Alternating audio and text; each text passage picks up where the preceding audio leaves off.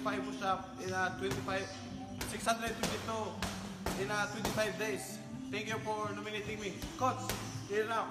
Push-up, 25. Isa po sa tinatanong sa akin lagi ng mga boxing fans is uh, kung kumusta na daw po ba si uh, Genesis Servania at sa wakas meron na rin akong update sa inyo ha. Nakahingi ako ng uh, video at uh, napadala naman tayo ng video ni Genesis Servania na sa kasalukuyan po ay nasa Japan. Ito pa push up push up challenge na lang. Ang alam ko gusto niyo malaman eh kung kailan ba ang laban niya at uh, saan ba. Coach, thank you. Okay, pinagsalita lang muna natin pero si Genesis Servania po ah, na may kasalukuyang kartada na 34 wins, ah, 16 by knockout, dalawang talo po ay nasa Japan. Ah, ang ah, moniker niya Kashimi ha. Ah, alam ko dati asukal to eh.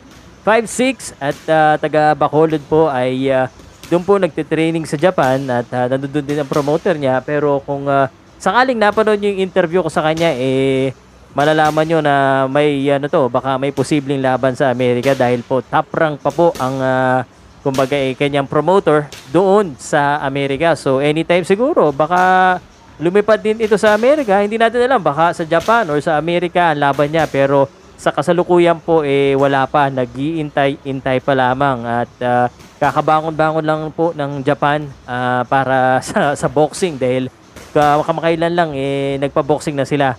Ito pong si Genesis uh, uh, ay uh, nagkaroon po ng huling laban noong December 15, 2019 nung kalabanin niya sa Japan. Ang uh, nakalaban din ni Mark Magsayo at uh, ni Sar Amunsot na nakausap lang din natin nung isang araw si ano po Panya Utok, ang dating world champion na si Panya Utok. At uh, kung matatandaan po natin, eh, nung um, 2018 na 19, eh, nakalaban niya po ah, sa Amerika si Carlos uh, Carlson at si Carlos Castro. Ah, isang panalo, isang talo. Pero ang ah, hindi talaga natin makakalimutan eh, yung ah, laban niya kay Oscar Valdez na parang gusto natin ulit siya makita na lumabang kay Oscar Valdez. Alam ko gusto rin yan. Pero sa ngayon po, eh, wala pa po tayong um, mababanggit na exact schedule at ang mapapakita lang natin eh, siya po ay nagpapakondisyon sa Japan at ah, as soon as ah, sabihin ni Genesis na may laban siya ibabalita ko kagad sa inyo yan ha? kaya keep in touch and ah, please don't forget to subscribe and hit that notification bell para lagi kayong updated sa mga ganitong video or sa mga usapan natin sa boxing okay? okay salamat po and ah, next time ulit ha pare ha manood ka pala sa mga video ko baka may mga hindi ka pa napanood sa video section salamat May problema dito sa no virus. Layo to, ano, Tokyo, layo-layo dire. So, normal na tigapon. Kamu na pre, mo sana pre.